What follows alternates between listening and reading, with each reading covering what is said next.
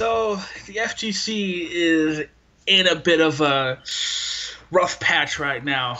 Like, oh my god. 2020 is the year of exposing.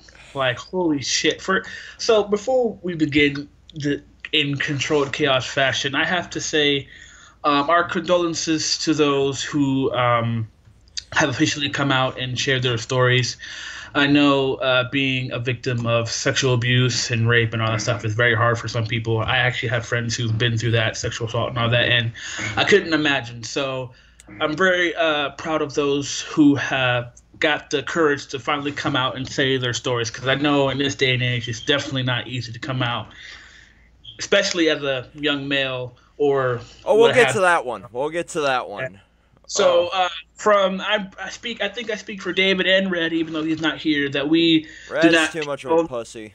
Yeah, we're too. we do not condone that behavior at all. And if you are ever going through something like that, whether it be mental or physical abuse, you know, rape or whatever stuff like that, we highly recommend you seek the authorities immediately or talk to someone who you really trust because no one deserves that type of treatment at all.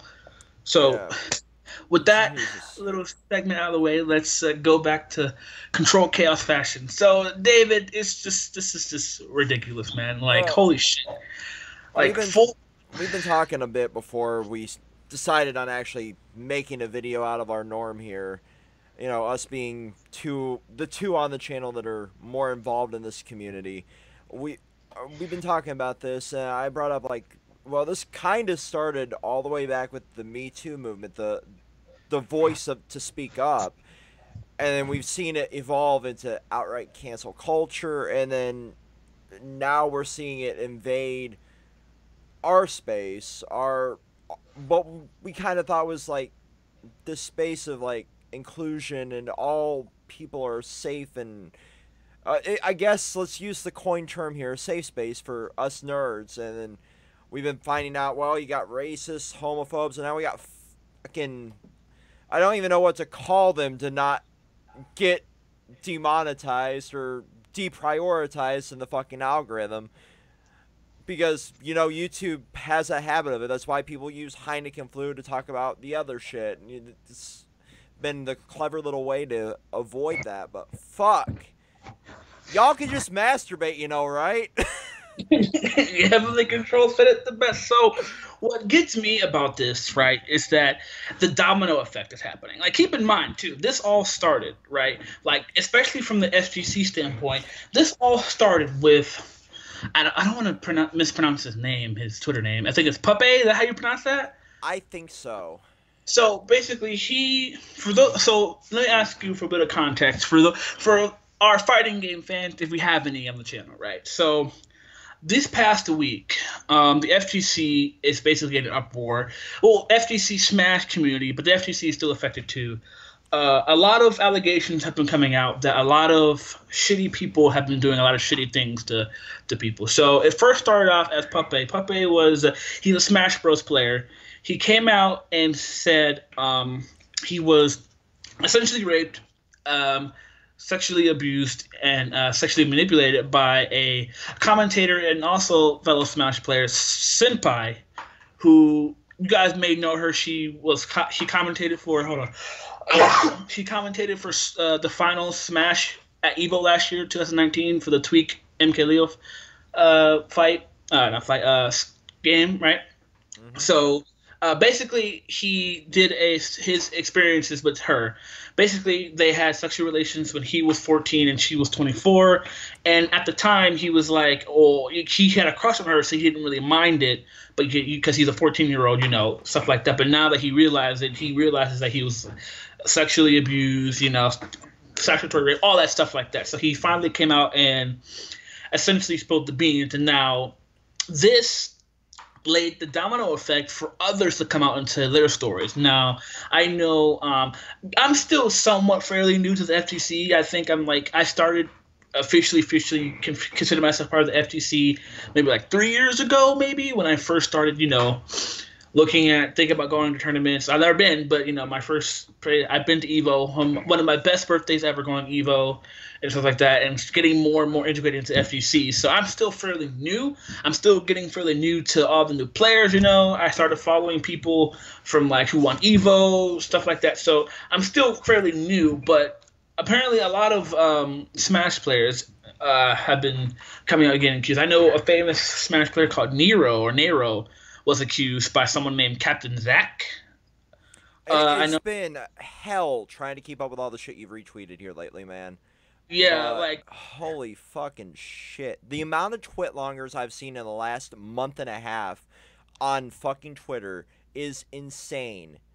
Like it's not to me this isn't just like the FGC video because that's a little niche. It's a big big big issue in our community here on YouTube and Twitch and fucking every other platform as well from content creators to just celebrities to all sorts of other little minute facets of our lives. And it took fucking the Heineken flu, this quarantine, to kind of be like, you know what?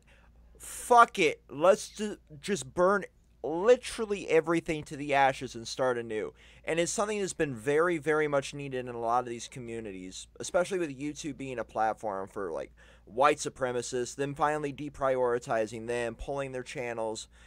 We have all of these rape and sexual misconducts with game developers and people in the industry itself. We have a lot of them coming from Twitch streamers being like, hey, this asshole over here, you know, tried to or did rape me at this con here. Here's my fucking story. Keep your goddamn hands to yourselves, you fucking creeps, and get the fuck out of our community. Like, it's gotten to the point where it's literally like, like you said, it's the year of exposing, but it's been more like a three year fucking span of just like, we need to reset everything from Hollywood to the FGC like, and it's crazy too because Smash. Because what's crazy is that every if from what I'm saying, everyone knew about this, right? Because and that's the thing that gets me, right? Is that when it comes to stuff like this and the domino effect that we're talking about, to me, from what I'm going through all this Twitter stuff, going through different t- Twitter feeds and stuff like that, it seems to me that people knew about this stuff was happening, but for some reason let it slide. And I'm trying to figure out well where I well, come in. Thurman, it's a little bit of multiple aspects here. This is something I I tweeted out a little bit ago. I'm like, you know what? I'm just gonna hold my fucking breath here because I'm gonna unleash this on another platform. But inside the male-dominated brain, we have this. But but you had sex, right? You you had you you got laid though, bro. What what's the big deal, bro? What? Why? Why is this such a big deal? Yeah, the, the, the, toxic. She's fucking ten years his elder. He's a fucking minor. She fucking raped him. I don't give a fuck about your toxic masculinity. Stop defending this fucking bitch. Oh yeah, bro. And it's just like I've seen people who comment like nice and like because this is this is something we every time and, this. And I was guilty of this when I was younger too. I had that same mindset, even during my own experiences of this. I'm like, yeah, but but as a man, you're like blinded to like, fuck. I at least had sex, right?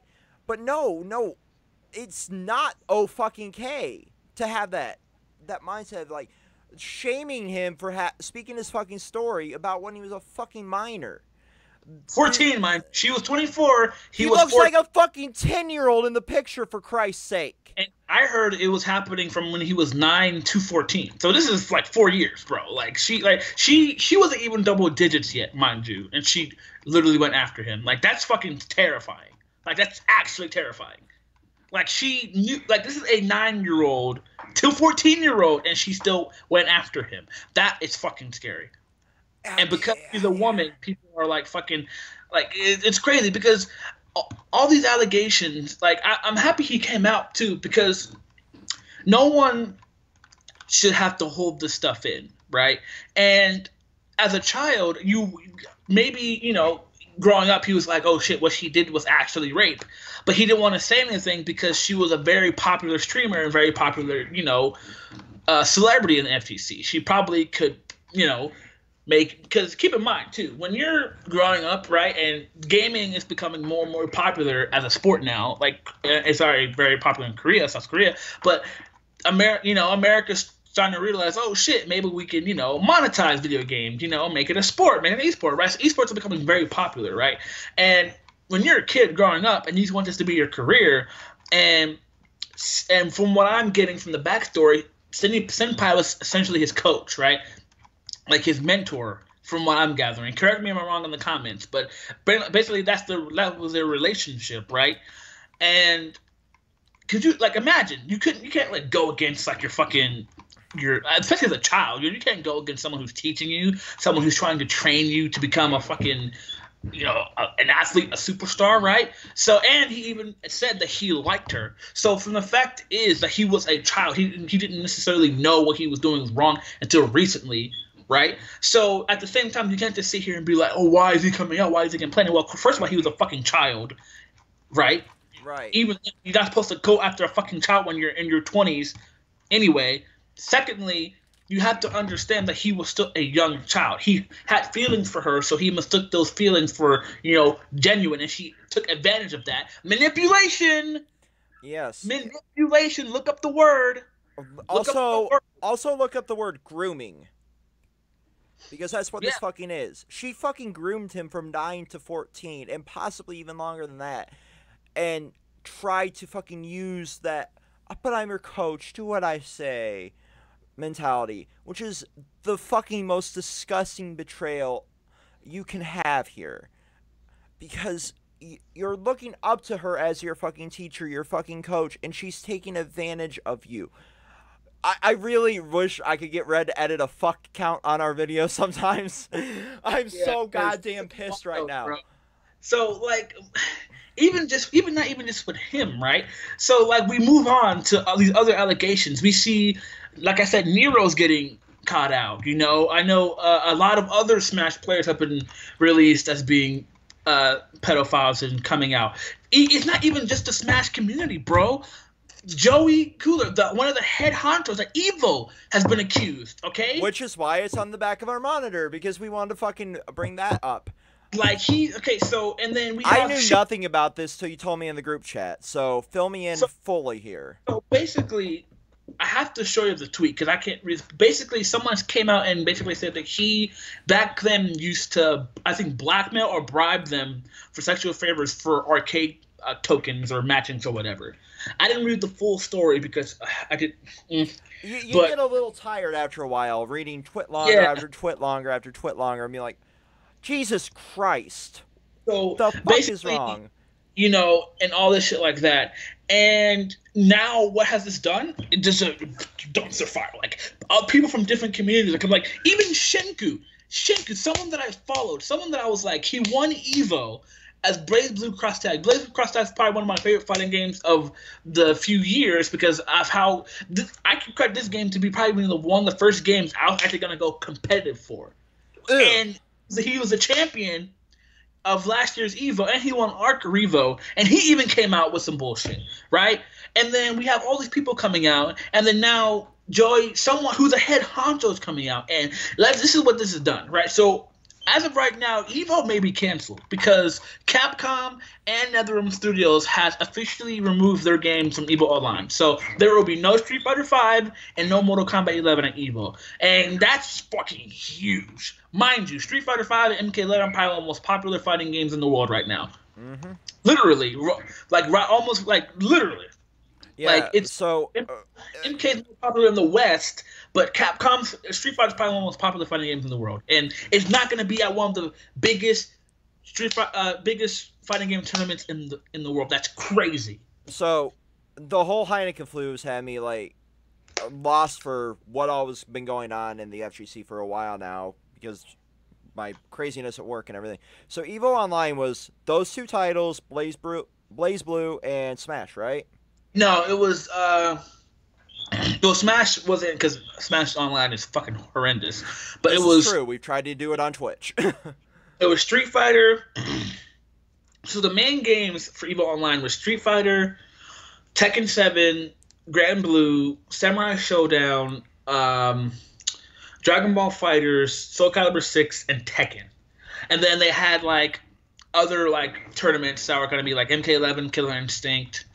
Um, Killer Instinct. Uh, Max was going to be yeah. for. So a lot of people. So what's happening here because of these allegations? A lot of people are backing out.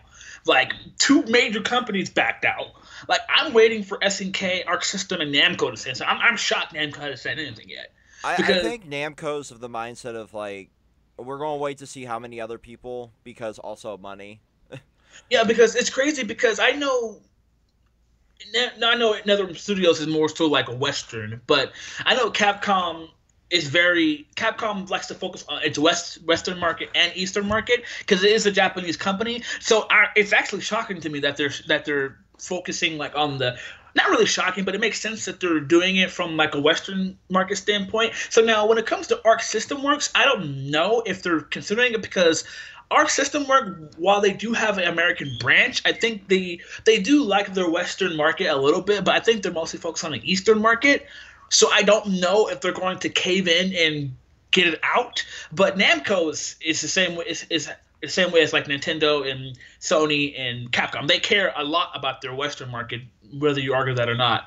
So I don't know if they're gonna take Tekken away or not, but I know for damn sure, like I'm just waiting to see what more so like Japanese companies are thinking right now.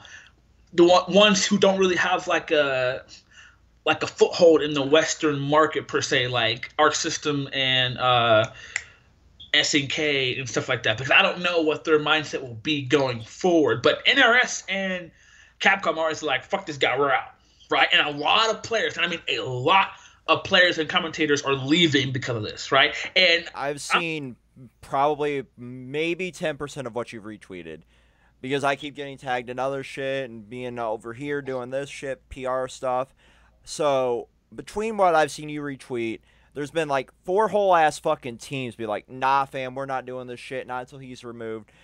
Max, the studios now I've seen fucking Twitter refreshing itself, and the insane amount of like I'm seeing more of the stories you've retweeted.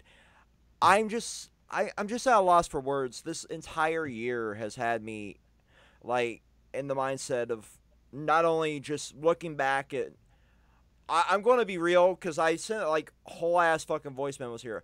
I am fucking thankful that I did not have social media till I was an adult because of the state of the world right now.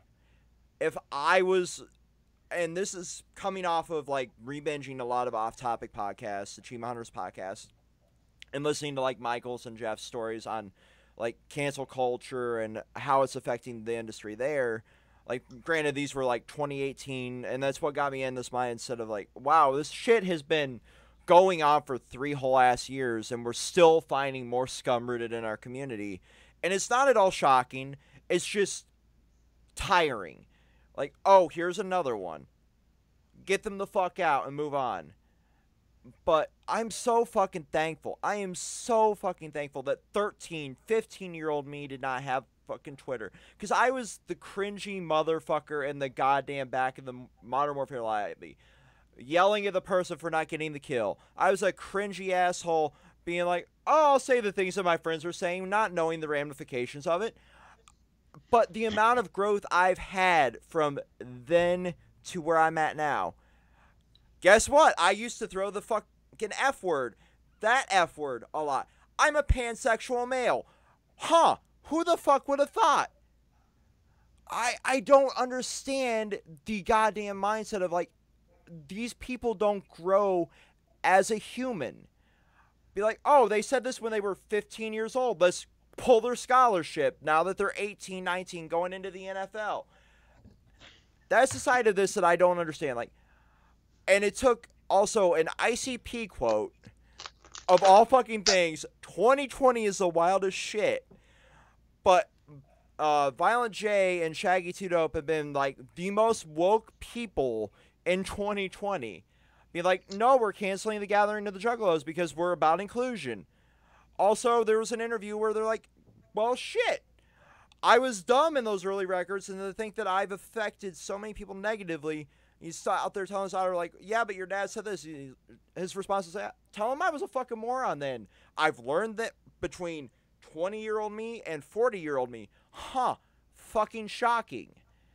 That's the side of cancel culture I hate. This shit here, this shit here, absolutely, 100%. Root them out of the communities.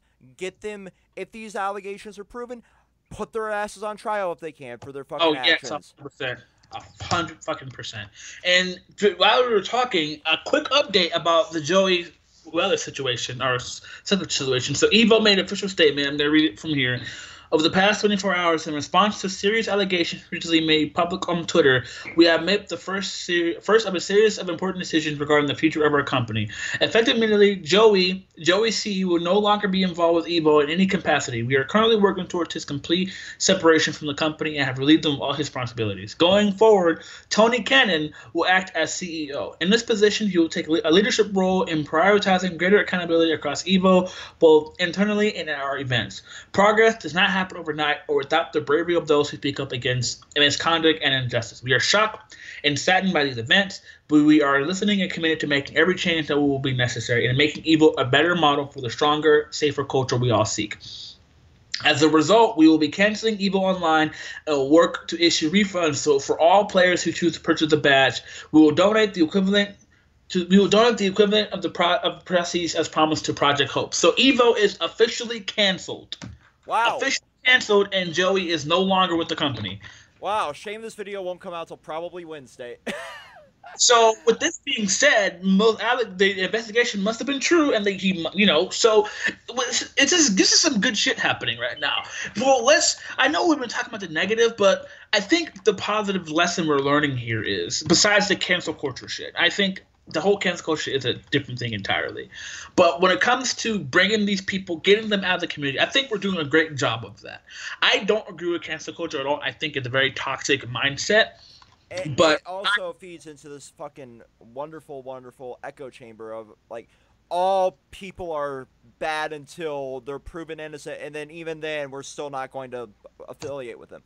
Yeah, like I I am a big person like I hate cancel culture, but the I will say I'm liking what the FGC is doing, weeding out all these people and getting them out of the community. Because as I've been talking to my other FGC friends, this is going to harm the community in ways you could not imagine. Oh, because we, we've we know that the community is full of racist and homophobic people and people who can know how to keep their damn hands to themselves. But now that we have pedos, we have people who've been doing extreme like rape shit.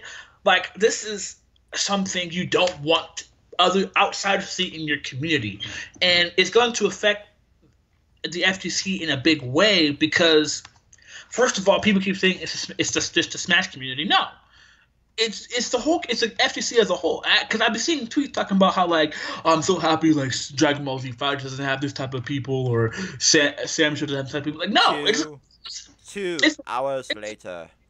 It's an FGC issue. I had no idea some Shinku, a BlazBlue Cross tag player, was a piece of shit until I found out. You don't know who's a piece of shit. It could be a bunch of Tekken players who are doing some scummy shit, a bunch of Sam Show players who are doing scummy shit. We don't know. It doesn't start well, with it. At this point in Thurman, I think Sam Show is too new of a refresh here on the scene to really actually have that. Even then, bro, but, I don't trust anything anymore, bro. I'm I I'm pessimistic. I I'm not gonna trust the FGC. Like I was literally thinking about going to like starting to go to more and more tournaments once the COVID shit go down. I don't even know if I want to do that anymore. Like you know, know. It, it's a good thing that I've kind of stepped back from the community from a bigger aspect and started focusing more on not killing myself, learning one game at a time. But at the same time, I this hurts a big part of who I was when I was younger too. I remember like meeting some of my oldest friends, you know, going to an old. I hate using the name of the store because it's kind of a stereotype, but it was an old shop called Bambino's, um, and basically they would have Yu-Gi-Oh tournaments, which was the main reason I went. But they would have all these fucking game consoles there where we could just chill out, and that was my FGC. And this was something that Max tweeted out, like that my uh, just paraphrasing, like it's also basically your local scene. You're fucking. your buddies on the couch. That's your FGC, not Evo as a whole. That is not the pillar of fucking what the FGC really is. It's your little mom and pop shops you go to to practice. It's everything that you know and love. It's your online lobbies, your friends that you fuck around with in Killer Instinct. It's shit like that is your FGC. It's not these big massive tournaments as a whole. And that that got me thinking back like, yeah, I met so many nice fucking wholesome people, but I don't know their demons behind closed doors. I don't know who the fuck they really are. I just know I used to fuck around with them when I was 13 to 15 years old, just chilling in downtown Belding, Michigan, you know, or downtown Greenville, Michigan, because that was my fucking hangouts back then. I'd go to my buddy's house in Belding, and I would go to fucking this little shop in Greenville, and that was it. That was my FGC for the longest time. Then I started going to our GameStop when they had Modern Warfare, and that slowly became who I was from like 15 to like 18 and then it was Halo for years past that. So, like, and then I just started getting back into it with you when we were covering cross tag for a while, and then we're like, yeah, we can't really, in the direction we took the channel, it just really couldn't be that. But for fuck's sake, am I glad that we're getting all of this shit out there in the in the open so we can finally have this reset because like you said there's there's no knowing who the fuck these people are. Truly. Oh my god, it's uh, it's it's just such a, a weird thing, bro. Like just just like we almost had from canceling an Evo to this, and um, it's just a domino effect, right? Like that's I'm saying. It's a domino effect. Pepe showed out his told his story, and now everyone else is coming in and sharing their story. Well, and I'm happy, and I'm happy they are doing that. I'm happy we're finally realizing the people that we thought were good people are not. We don't need these people who are secretly f- fucking pedos, rapists, and sexual assaulters to be in the community. They're hurting us more than, than they're helping us, regardless Absolutely. of their talent or their personality or whatever, right? Like, I never knew Mr. Wizard was a fucking pedo until just recently. Like, holy shit yeah. my dude. Like, and, and that's then, really all it takes for one of these movements to start. Is like Me Too was one fucking batch of allegations against people. Then slowly, slowly, uh, it started going to like, yeah. And then we had Men Too, where a lot of the more male or male identifying people came out and started telling their fucking stories. Then we had the fucking this gamer one, Jesus, the speak out movement we are calling it, I guess, where it's a lot of the entertainment, like fucking content creators and influencers being like, yeah, this person over here, they're fuckwit. They they cornered me in the hotel room, or like this one over here groped me at a con. It, and I'm not devaluing any of those by the way I sound. I'm just like 2020 has me tired of finding out how many people are shitty human beings. I'm glad I'm finding out that this streamer over here was a piece of shit, or this streamer over here, or this YouTuber over here, or half of the beauty tube is all fucking scumbags that are protecting other scumbags. But once we got to this, like, fighting game community gate, whatever this hashtag will be, and let's face it, that's what it's going to be by the end of the fucking week. Is going to be a hashtag of like, you know what? All this shit's going to be under this. And by the end of the week, I mean by the end of the week that this video actually comes out, because this will probably be a Wednesday upload, according to Red, who's mm-hmm. kind of taken my role from back in the day. It feels weird to be the only one creating a video and not just an archive. Not gonna lie. Yeah. so, man, like honestly, like Jesus, bro. I there's nothing really more to say. There really isn't. There, like we've we basically said all we needed. I think the last thing we should really just talk about is just do better. How what can we do to make the FGC? Because I'm gonna be real, the FGC is in deep water right now. Like, I like if I was someone who's trying to get into fighting games, I would go back to playing shooters because like I'm real. Like mm-hmm. the FGC was supposed to be community that's inclusive, and I'm, you know, a lot next of week. next week, Thurman. Just because you said that, and it's 2020, we're gonna find out the whole Siege YouTube community is a piece of shit. Yeah, like, like I don't, I don't know. Like I'm a part of the FGC community. Like I, I'm just, I, I was, I'm part of the MOBA community too. I guess you know, like I like work. Like, That's a thing. Yeah, I mean League, Dota 2, but Dota 2 is a whole toxic fucking community. But you know, I so heard League. Yeah, but, but like I've heard bad things about League players. I heard some League players do some scummy shit. I haven't heard anything about Dota 2 players, but you never know, right? Like I could go to real time strategies, you know, Warcraft, Starcraft, and that, like. But the thing is, But though, like, StarCraft's essentially gambling. so it's just like, what can we really do, right? The FGC was like this one place where I really felt like we were a clean slate, but apparently not. It's Well, just like- here, just- here's the sad reality of the world. There are shitty human beings in every aspect of your life. Your boss might be one. Your fucking coworker next to you might be a kitty diddler. And you would not know that until it comes out. And they'd be like, yeah, it makes sense. And you start putting the pictures together in your head. Fuck.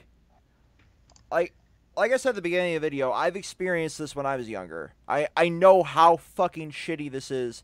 I've also been the toxic douchebag that's be like, well, shit, wish that was me. Oh, where's she at? Because that's how the man's brain works when it's younger. It's like, That's how society makes you makes you feel like if, if you if, if, you, you, get speak out like, as a man, you're a piece of shit yeah because you got like, laid. pussy like you're a pussy or for not enjoying it like you're scary like we our society literally shames men for not wanting sex like if you as a man say no to sex you're seen like like a bitch pussy you don't want it you can't There's handle it plenty of times when I'm drunk that I don't want to have sex.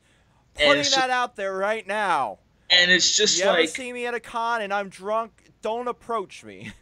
like because i've seen it. I've seen it even in the debating community when there's been memes about it.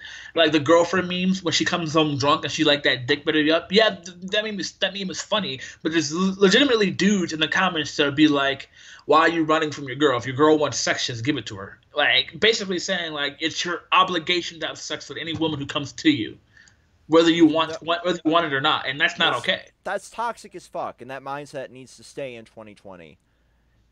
Then that shit needs to go away needs to needs to be Thanos snapped immediately Yay, fireworks have started.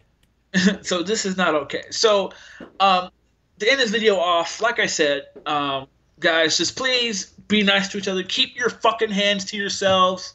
It's not hard, okay? No means no. I cannot believe we still have to say that. Yeah, well, people are fucking retarded, you know.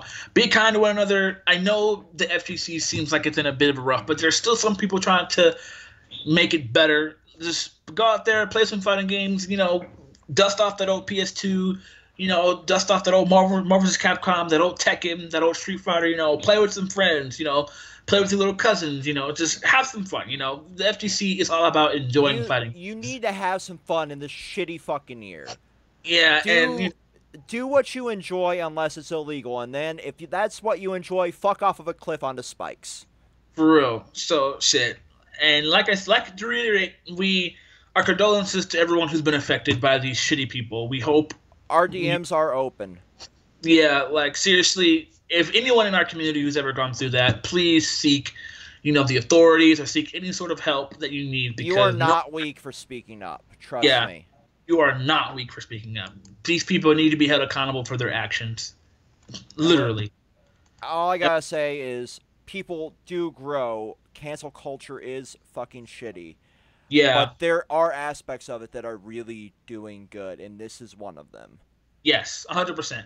I hate cancel culture, but at the same time, you know, these people need to be held accountable for their actions. Not don't cancel them, just just remind them of how shitty they are.